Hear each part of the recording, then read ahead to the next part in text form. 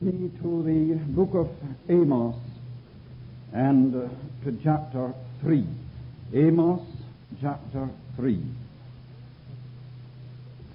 Hear this word that the Lord hath spoken against you, O children of Israel, against the whole family which I brought up from the land of Egypt, saying, You only have I known of all the families of the earth, therefore I will punish you for all your iniquities.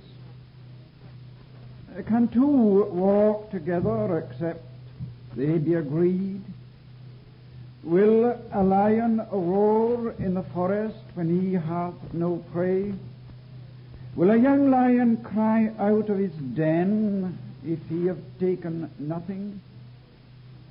Can a bird fall in a snare upon the earth where no gin is foreign?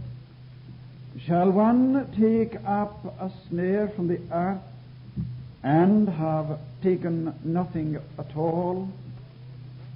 And shall a trumpet be blown in the city and the people not be afraid? Shall there be evil in a city and the Lord hath not done it? Surely the Lord God will do nothing, but he revealeth his secret unto his servants the prophets. The lion hath roared, who will not fear? The Lord God hath spoken, who can but prophesy? Amen. God will add his blessing to that reading from his word. Shall we unite our hearts just for a minute in the fellowship of prayer? Our gracious God and loving Father, as we now wait before Thy presence, we do desire to cast ourselves afresh upon Thy mercy. And Lord, if we know anything at all about our own hearts, there isn't a moment but we need both mercy and grace. So draw near to us now.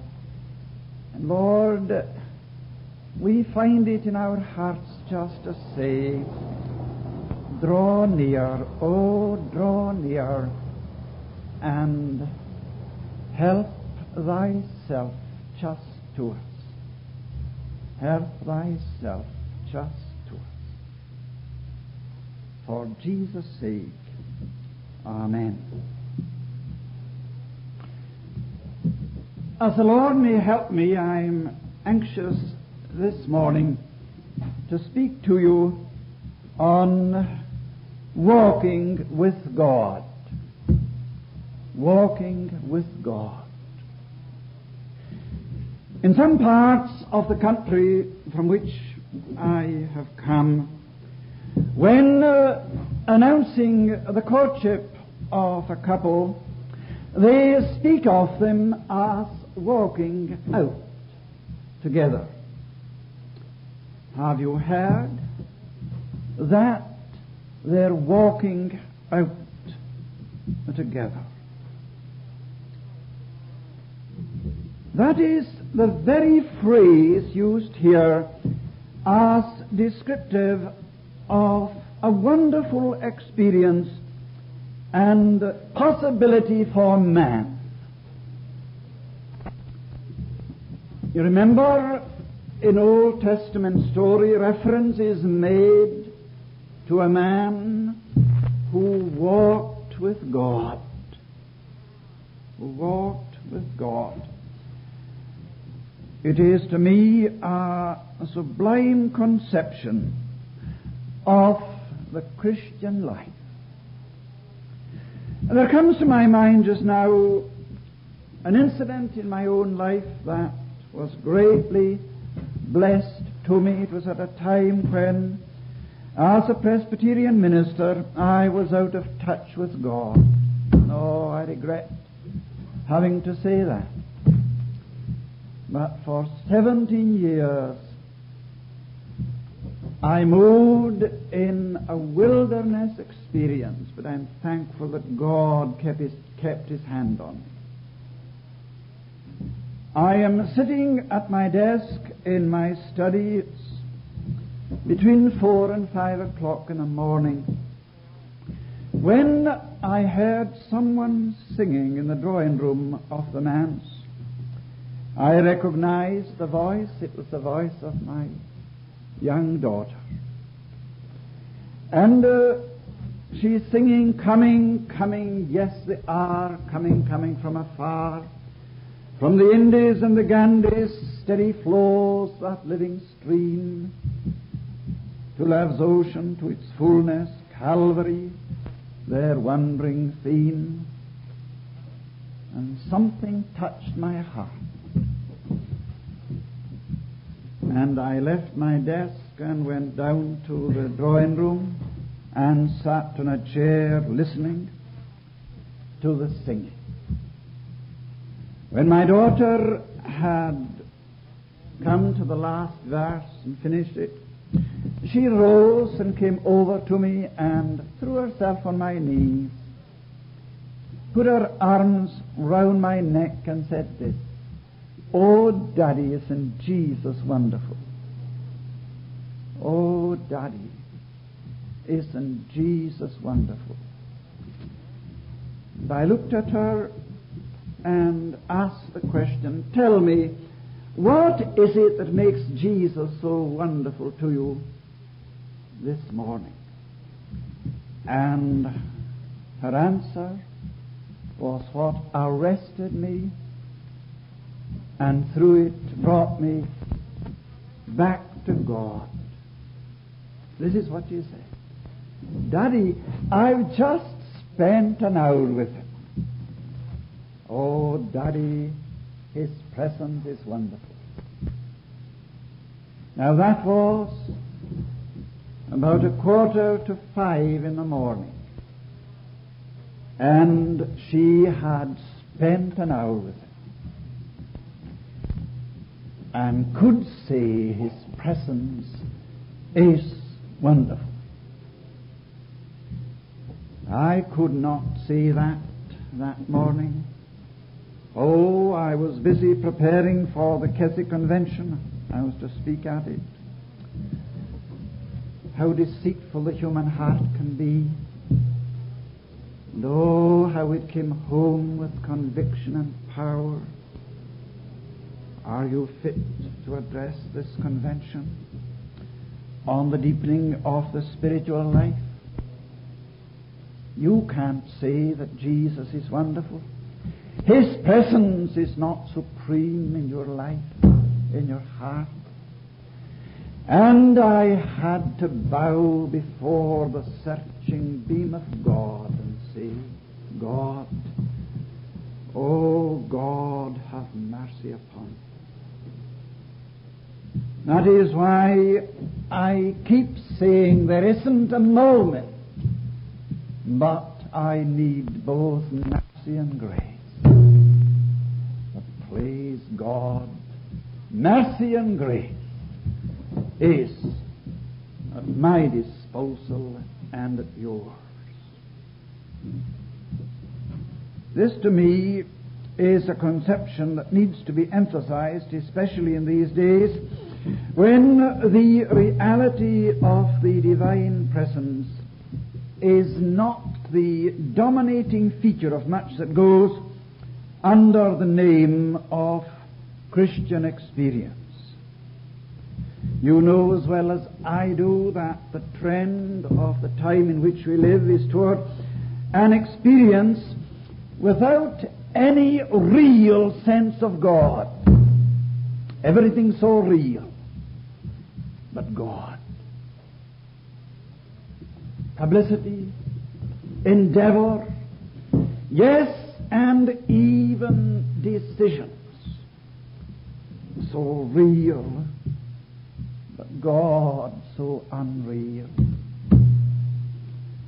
A young undergraduate student said to me at Cambridge, I believe in God, but I do not know him. I remember Christ, but I do not realize him. All is dim, shadowy, and unreal. But he was a professing Christian. He had made a decision at a crusade conducted by a prominent evangelist.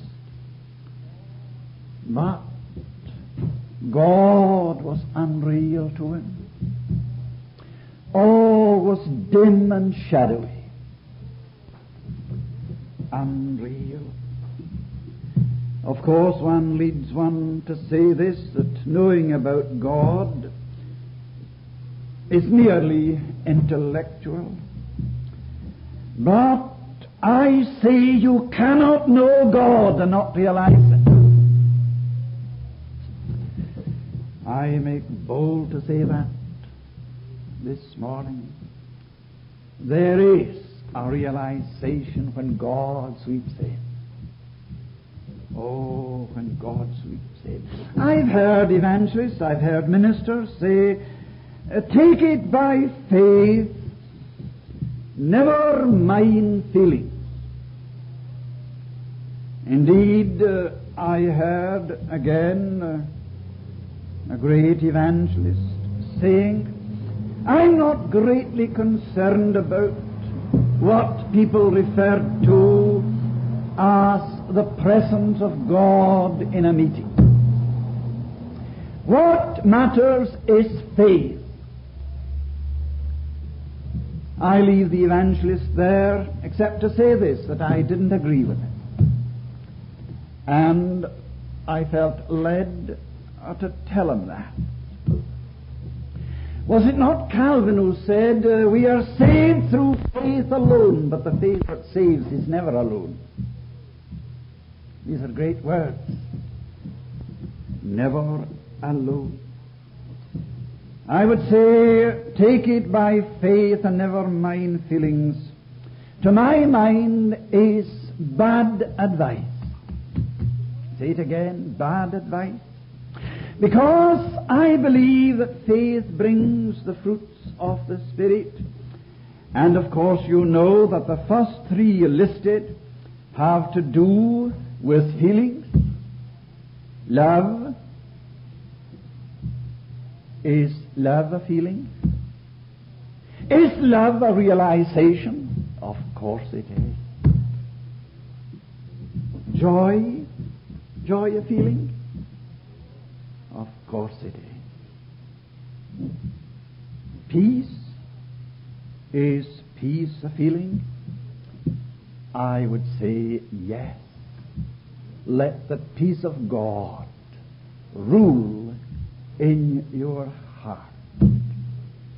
I do believe that when we come into saving relationship with Jesus, and that happens, as we heard already, it happens in the twinkling of an eye.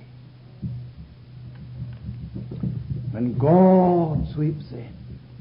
When the Holy Ghost brings the personality of God, as I already said, into my personality. Am I made conscious of it? Oh, thank God I am. I am. I think I could say this morning that not one single moment had I ever any reason to doubt the work that God did in my heart the night that God saved me. Note what I say. Never had any reason to doubt the work that God said, but oh, my brother, my sister, again and again I doubted myself. I doubted myself.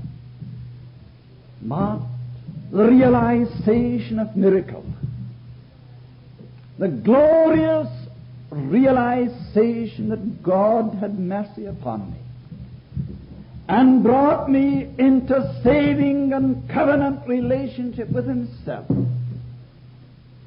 has remained with me even when there were periods when I found myself doubting myself, bringing a measure of darkness into my soul. But could I ever doubt God? My God is a covenant keeping God. Oh, I love that phrase. So often quoted among God's people in the Hebrides. Covenant keeping God. That must be true to his covenant engagement. My sheep hear my hear my voice. And I know them. I remember, oh, I'm drifting from my address, but we've got to listen to the voice of God and do what He tells us. Oh, the address may go to the wind. I love to believe in the liberty of the Spirit. And I was asked to address a, a meeting in Newcastle in England, and it was suggested to me that I should give a series of addresses on justification by faith. Justification by faith. The new birth. I had to leave on the last night of the series, get my train for Edinburgh. And I was followed by a young man. He got up to me and pissed me with this question. Mr. Campbell, do you believe in eternal security? My dear brother, I said, of course I do. Of course I do. And then he said, Praise the Lord. I knew that you were a Calvinist. I said, Brother, just remain a second or two with me. Yes, I believe in eternal security on the basis of John 10 and 27. My sheep hear my voice, and I know them, and they follow me. And I give unto them eternal life, and they shall never perish. That is the ground of my confidence in eternal security. I said, young brother, listen. You've no ground whatsoever for believing in eternal security unless you're in the place where you hear the voice of God and follow it. And I said that. I've said it repeatedly. But the man who has entered into saving and covenant relationship, hear his voice and recognize his voice and follow. Now coming back to our text, walking with God, might I say this, that if we are going to walk with God, we must be agreed. And perhaps I could say agreed on at least four things. I must be agreed on the place of meeting God as a trysting place. God has a trysting place, a place where I meet Him. And uh, then, uh, surely we must be agreed on the purpose of our walk. Why is it that we desire to walk together?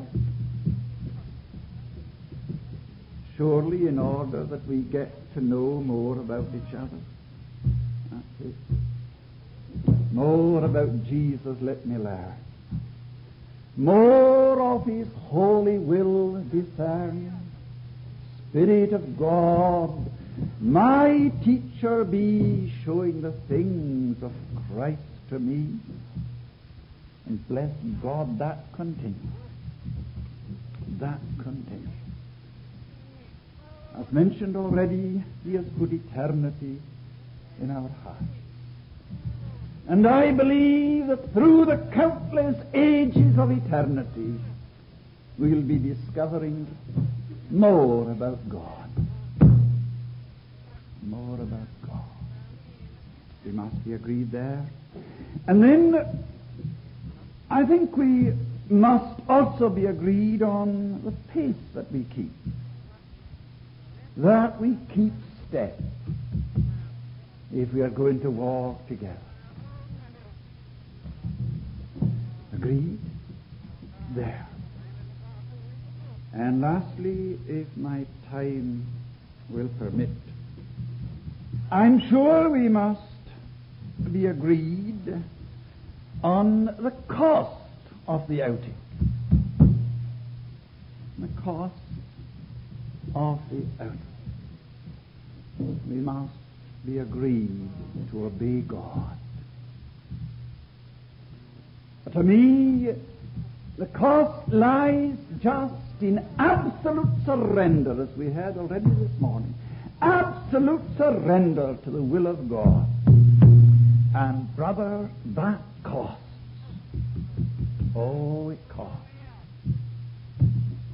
First, then, let us consider our first thought the place of meeting. I love that verse that we quote so often, bidding us come with boldness to the throne of grace, there to obtain mercy and find grace to help in time of need, an invitation and a promise. We thank God for both. The place of meeting is a throne. Would I see a throne beneath the shadow of the cross? Oh, what a place. I'm sure that must have been the thought in the mind of the poet when he penned the words, Here I lie forever viewing mercy streams in streams of blood. Precious drops my soul bedewing, claims and seals my peace with God. Mercy streams in streams of blood. Oh, the cross of Jesus becoming real.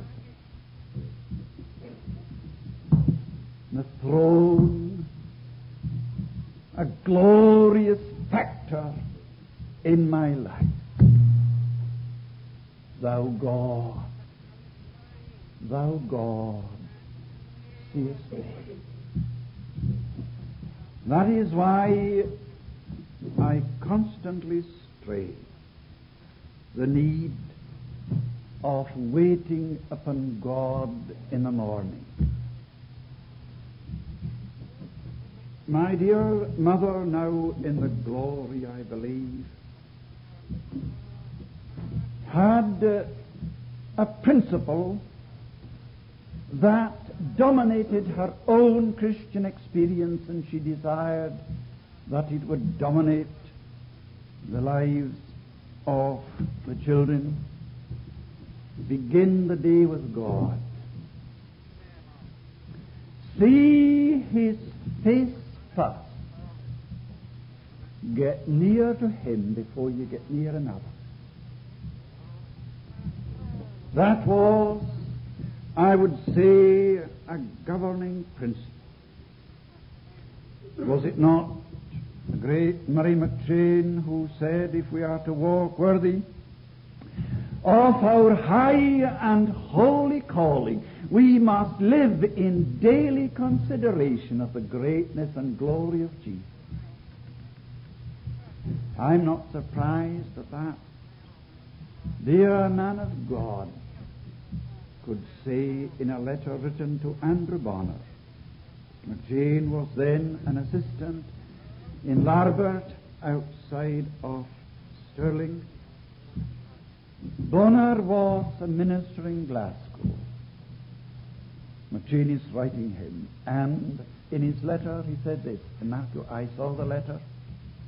It was in the hands of an old elder. Where he got it, I just couldn't say, but he had it. In the handwriting of Murray McCheyne himself. In that letter he said this.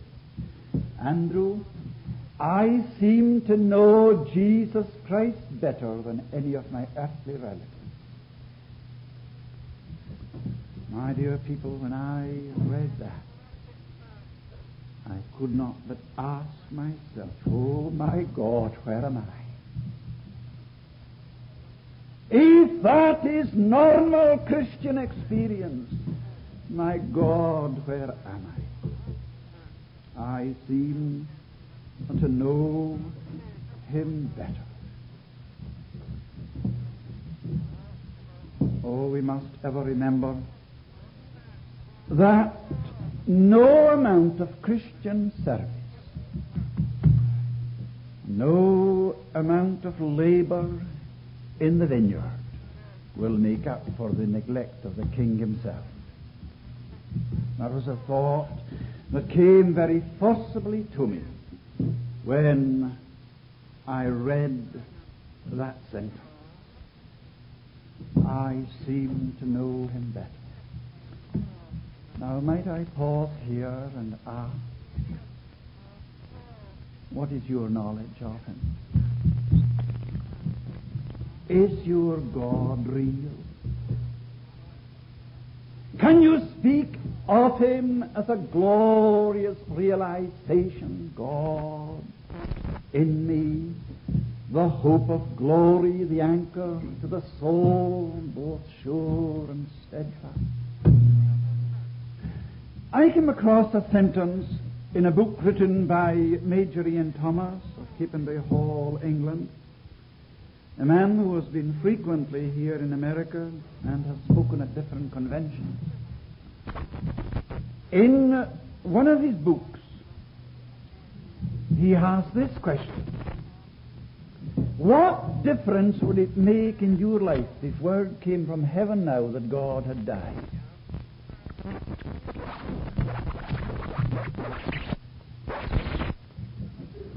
A startling question. But, brother, may I ask what difference would it make in your life?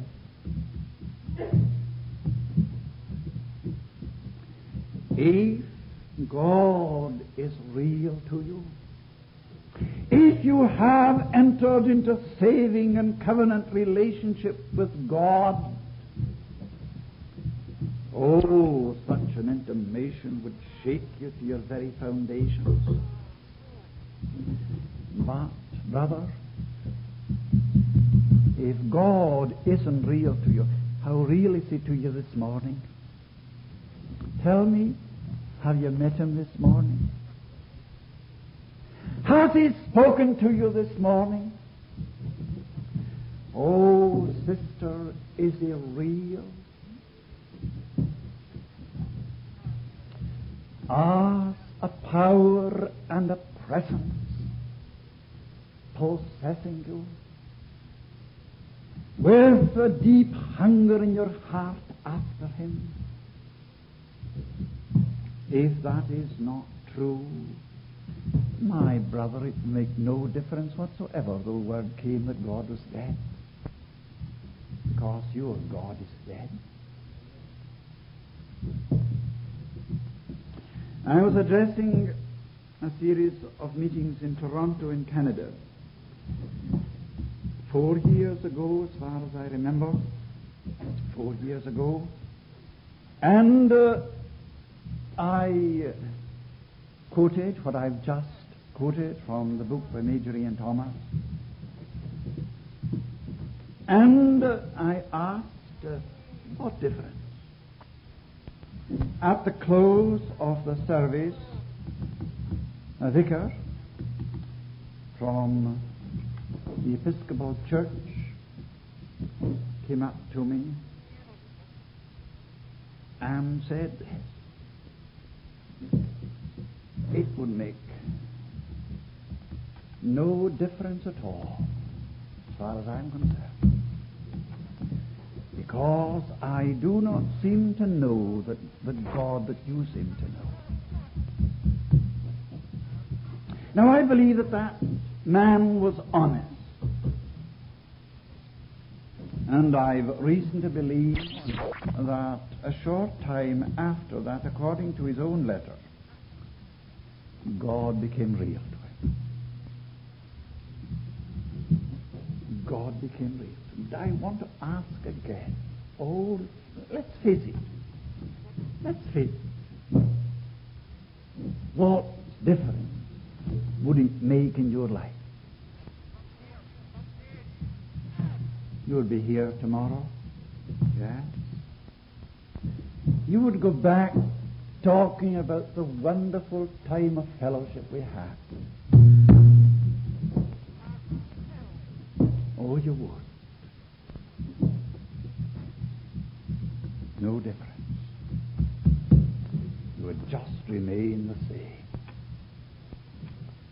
Oh, give me a man to whom God is real. And I will point to a man that is different. That is different. Life also of Jesus made manifest through my mortal flesh. A man who walks with God, to whom God is real. Further, we must be agreed on the purpose of our walk. Why is it, oh, why is it that I desire to walk out with God? It's surely because I need Him. I dare not take one step without Thy aid. Is that not what the poet said? It is, of course, in order that I get to know Him.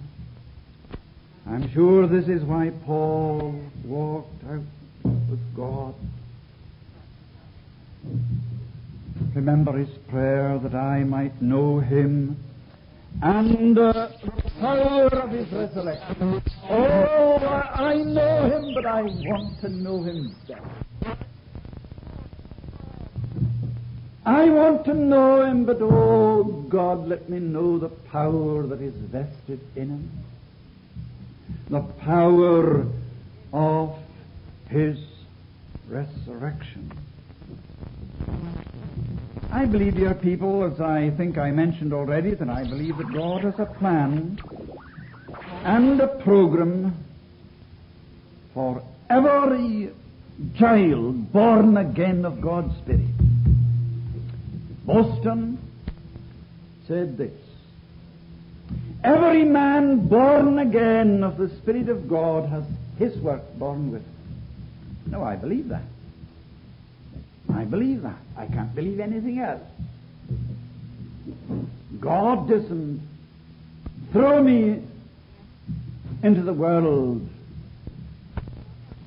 just on chance to muddle my way through life. I can't believe in a God who would do that. Never could.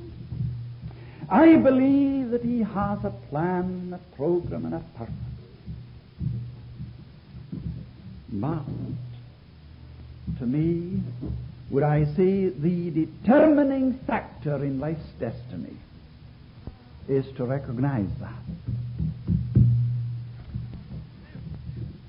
And it's a very arresting passage in the book of Psalms. David tells me that he went into the temple to behold the beauty of the Lord and to inquire in his temple. That to me is a great verse. Of course, we all love to behold the beauty of the Lord. A wonderful church. Oh, what a choir. Wonderful. I'm thrilled by it all, the beauty of the Lord. David said that he loved to behold the beauty of the Lord. But he went further than that and to inquire in his temple. I wonder how many of us bring the spirit of inquiry into our devotions. Lord, what wilt thou have me to do? Is that what you prayed this morning?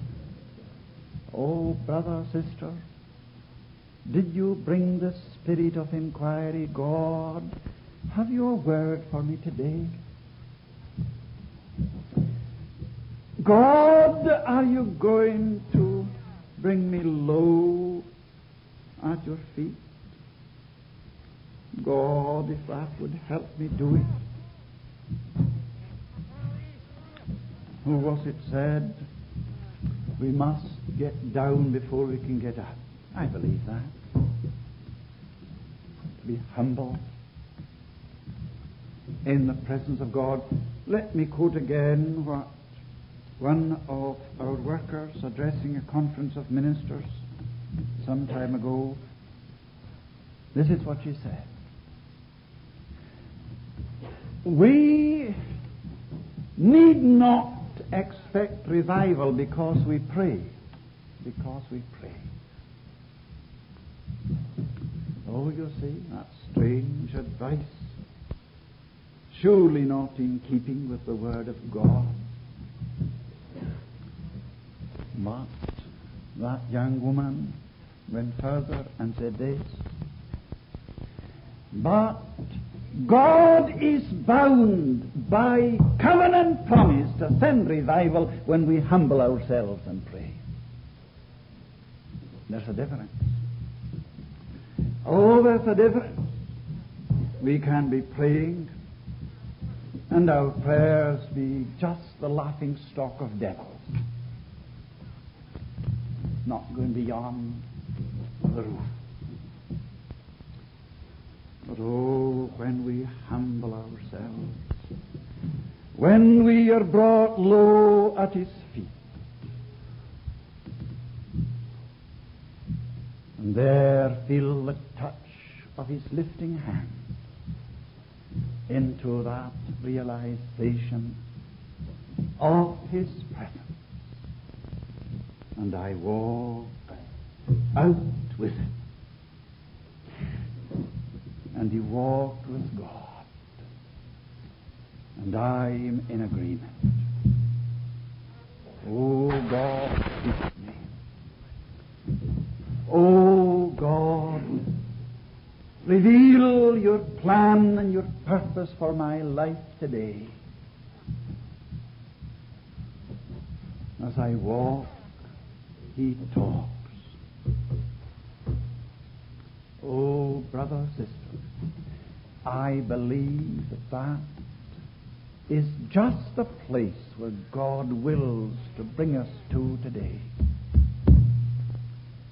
This to me is the beginning of revival. This to me is heart preparation for a movement of God. I seem to know Him better. That was according to the date on the letter, was before McCheyne went to Palestine and left. Another minister to take his services. And during that season away from his congregation, and his people ministered to by this dear man of God. Revival broke out in his congregation. When Murray McCheyne heard of it, he praised God. He was so thankful that God had used this instrument and not just him himself. That's a mark of a Christian. A mark found on the man who walks with God. Oh God, send revival. I'm not concerned as to who you will use.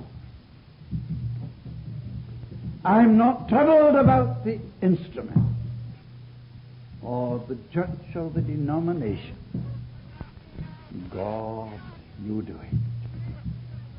And I will praise you for it. That is a mark on the man who walks with God. God, if you want to send revival during these days at this camp meeting, God send it. But I'll be happy if you break out somewhere else.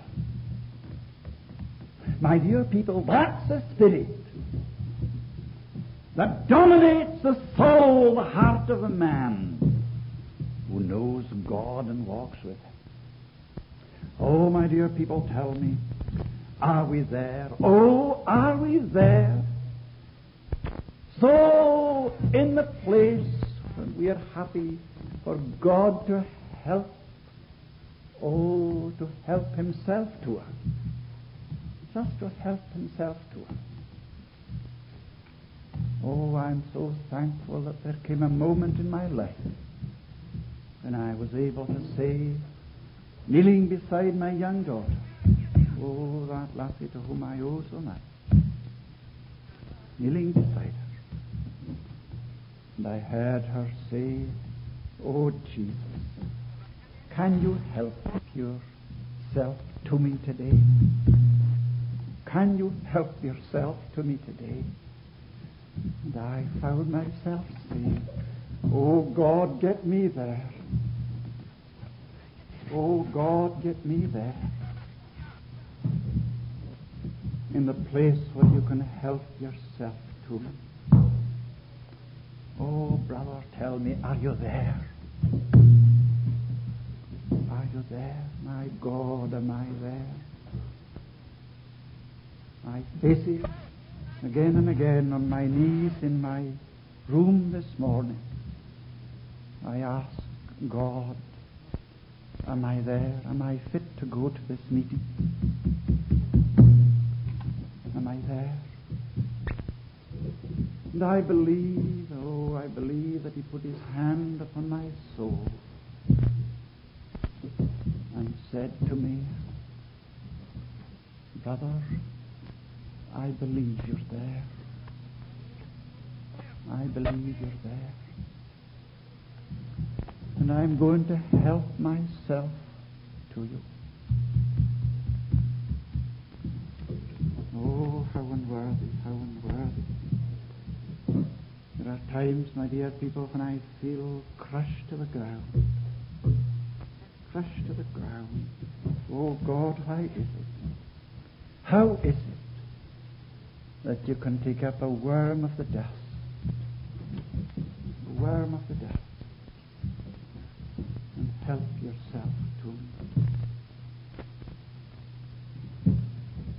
Then a word on the pace we set. Now, here we are tempted to do one of two things.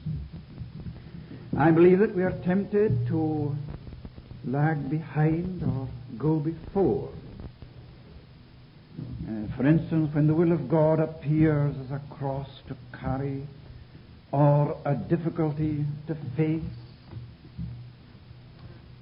oh, the strange thoughts that come to our mind.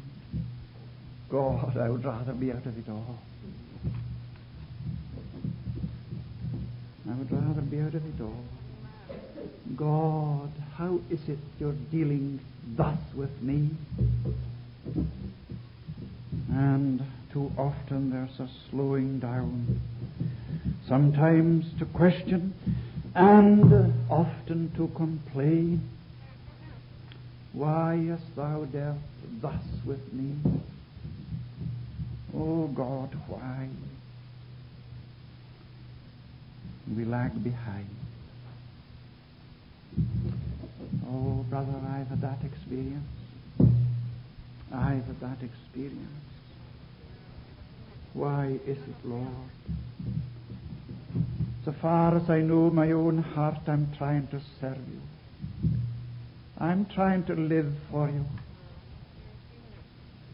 But how is it, Lord, that I'm in the dark? God, I can't understand it. Is it, Lord, that you've got me in the school of discipline where you're anxious for me to get deeper with yourself?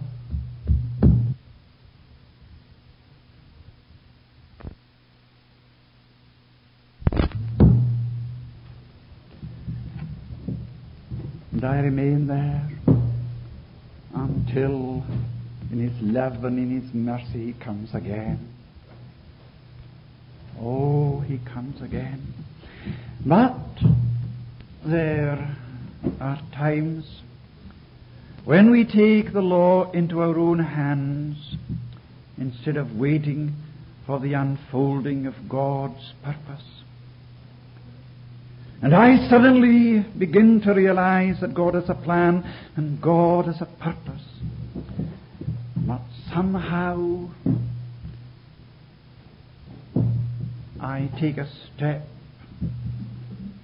that in a short time I see to be unwise. I forget that God is still saying, See and do it according to the pattern that I showed thee. Speaking to Moses. I'm glad that Moses listened and did not say, God, I think I can improve on your program. That's what men are doing today. Oh, that's why you've got this and that thing introduced into Christian service. And we have this group and that group. Oh, may God help us. See that thou do it according to the pattern that I showed thee. That's why I have kept saying, at the risk of being fearfully misunderstood, that God has a plan and a program. Preach the word. Preach the word. Sing the word. And live the word. And I've said again and again, beyond that, God is not in it. God is not in it. He will bless the word. He will bless the singing of the word. And oh, how my soul was thrilled listening to those dear lassies that were singing today. I said, as I sat there, thank you, Lord. That is just in line with the truth that you've given me for this morning. Live the word. Oh, live it. Jesus went to every city preaching and showing the gospel of the kingdom. It's one thing to preach. Oh, give me a man that shows the gospel of the kingdom. And to me, that is just the way that God works and God honors. I cannot believe that He will honor anything else outside of that. I'm simple enough to believe that. But here you have a man to whom God made a covenant. But he became impatient. God, I think I can improve. I think I can help you to fulfill your covenant engagement. And you remember what happened? He forced Ishmael into his life. Forced Ishmael. And Ishmael has remained a thorn in the flesh of the church of Jesus Christ to this very day. Because of Abraham's folly that did not wait for God to do it and fulfill his purpose. Now, I believe that here we have a very important lesson to learn.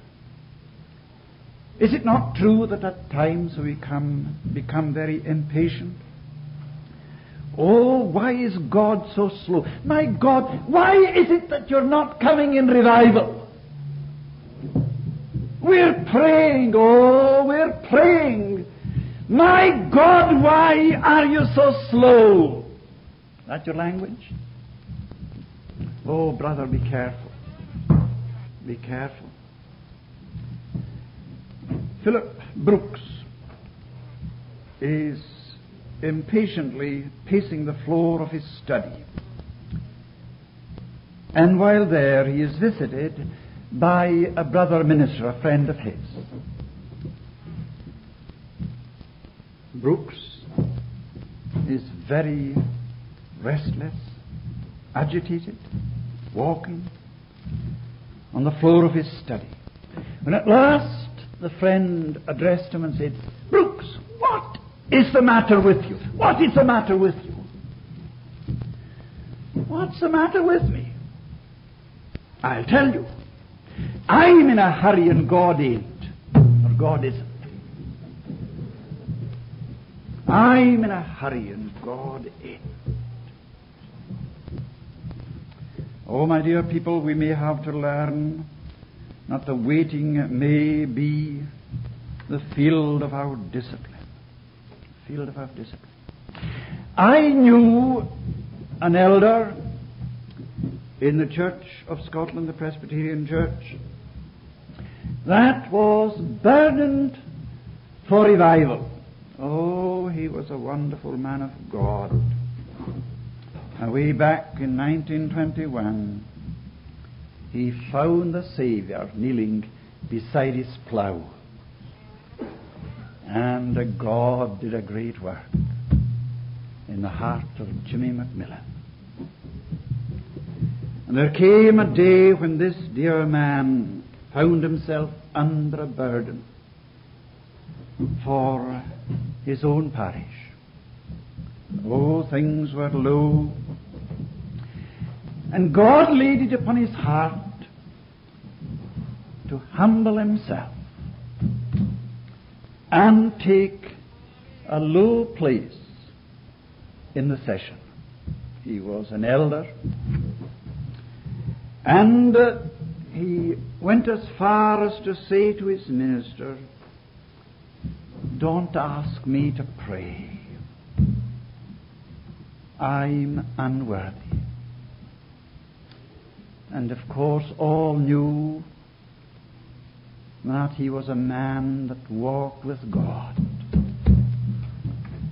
But he said, I feel led to give myself to waiting upon God.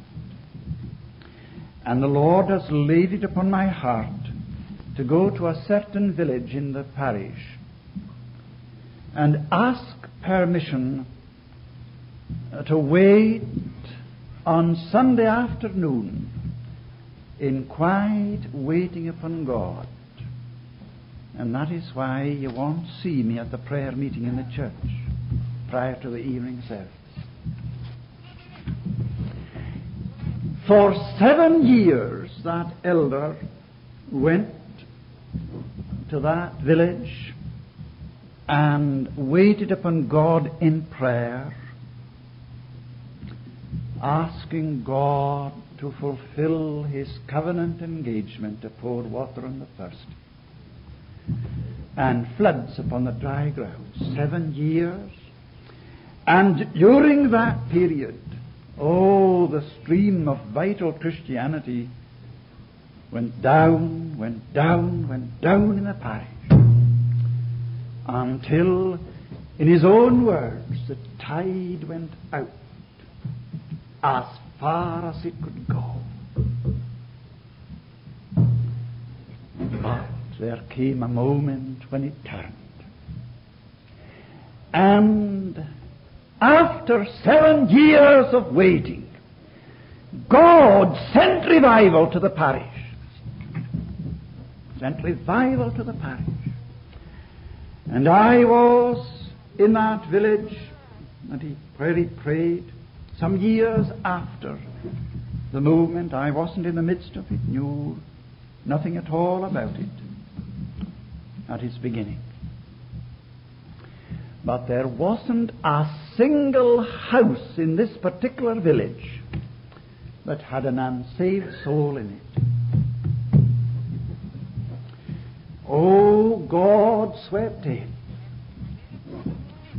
because a man waited for God to do it. And God did it. Brother, though it tarry, wait for it. My dear people, that's why I'm in America just now. I'm telling it straight from my heart. I'm waiting for God to do something. And I believe that God is going to do it. Oh, how real that became to me some years ago at Prairie Bible Institute. And I'm not going to doubt God, though He tarry. Oh, God, help me to wait. Help me to keep in step with your purpose. And if you want to keep me in the school of discipline, God, keep me there. Keep me there. Just one word in closing on the cost of the outing. Of course, it's going to cost. And it just means this absolute surrender to the will of God. I know that there are some dear people and they sing, Take my life and let it be. Just let it be. God, don't trouble me. The verse goes on to say, Take my life and let it be consecrated, Lord, to thee. But they stop before the consecration. Take my life, oh yes, take my life, but God, let it be. I don't want to be involved in prayer as others seem to be involved. Just let me be. Oh, I want to be a Christian. I, I, I want to go to the camp meeting. Of course I do. It's the right thing. But God, don't disturb me.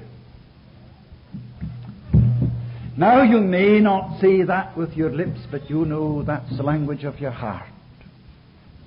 Oh, my dear people. We want honesty, we want sincerity. Take my life, but my God, let it be consecrated, Lord. Is that not what we listened to this morning? Oh, take everything. Brother, God is not prepared for half measures. Hudson Taylor, addressing a meeting in Perth in Scotland, said, He will have all or nothing at all. Absolute surrender to the will of God. I believe that the bedrock of Christianity is personal devotion to Jesus. And that devotion expressed in the sacrificial giving of myself. I believe that at this time there has been and there will be a demonstration of generous giving. I believe this camp came into being because of generous giving. I believe that. But, brother, blessing comes through sacrificial giving. Through sacrificial giving. That is the price of blessing and the cost of revival. The giving of myself. with no reservation. Sacrificial giving. Brother, that is the cost. And if you're not prepared to give it, oh, for God's sake, stop talking about revival. Stop talking about your burden. Stop talking about the need to wait upon God in prayer. Oh, stop it, stop it. It stinks in the nostrils of God. But sacrificial giving, the giving that costs, I'm sure that must have been the thought in the mind of the poet. Soul of mine must I surrender. See myself as crucified. Turn from all earth's ambitions, that thou mayest be satisfied. Brother, that is a place of blessing. And that surely is the price of revival. The giving that costs. Giving that costs. Oh God, get us there. Amen.